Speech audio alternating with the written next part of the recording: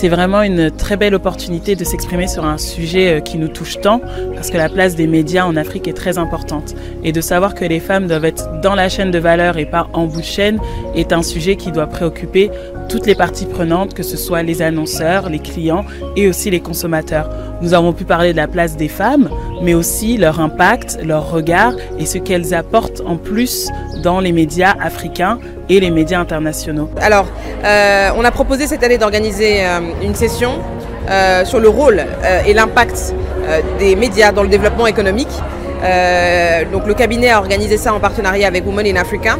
Et le, notre objectif, c'était vraiment de réunir aussi des femmes euh, qui occupent des rôles très importants dans des médias internationaux, mais aussi nationaux, euh, de voir aussi des femmes qui sont dans le digital, de savoir comment est-ce qu'elles évoluent. Aujourd'hui, sur le continent, il y a beaucoup de femmes qui prennent le chemin de l'entrepreneuriat. Donc j'invite la jeune fille à prendre le chemin de l'entrepreneuriat, de faire des bonnes études, d'avoir aussi de l'ambition et de viser haut parce qu'elles peuvent aussi faire de belles choses. J'ai participé euh, à la session sur les femmes dans les médias et j'ai trouvé ça très bien.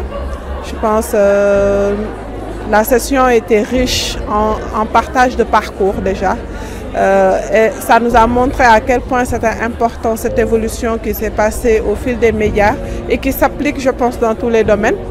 Mais surtout cet apport que le numérique, un domaine où je suis d'ailleurs, est important dans cette expansion, cette libération de la voix des femmes et de leur, euh, non seulement dans leur travail, mais aussi dans leur euh, confiance en elles pour pouvoir mieux s'exprimer. Nous savons que l'éducation, la formation, l'information sont essentielles.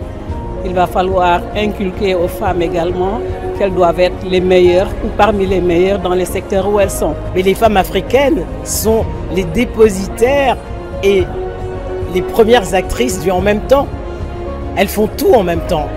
Elles gèrent la famille, elles gèrent les petits frères, elles gèrent leur éducation, elles gèrent leur belle famille et elles gèrent leur carrière tout ça en même temps.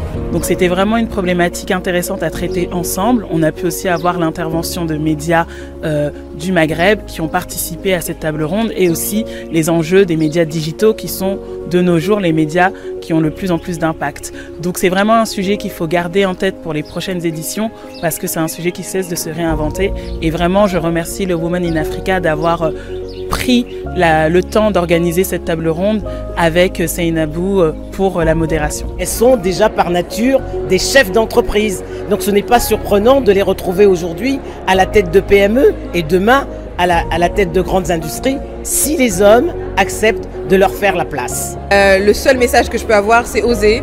Euh, que vous soyez euh, du nord, du sud, du milieu de l'Afrique ou bien de l'extérieur du continent, toutes les femmes aujourd'hui ne doivent être euh, euh, habitées que par cette volonté de d'oser entreprendre, faire les choses, construire, euh, croire en soi, croire en ses, capacités, croire en ses compétences, travailler, mais oser, oser entreprendre.